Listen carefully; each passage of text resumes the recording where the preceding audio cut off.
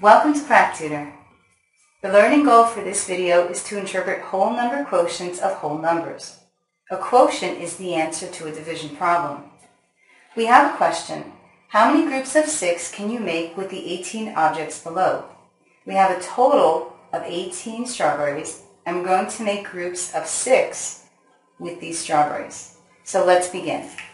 We're going to find our first group and create it by circling these six strawberries. We have a second group that we can create. We're going to circle these six strawberries. And we have a third group that we can create using the six strawberries left over. So we have one, two, three groups of six. So our total number of objects was 18. We divided our 18 by 6. And we got three groups of 6. Our quotient is 3. Thank you for watching.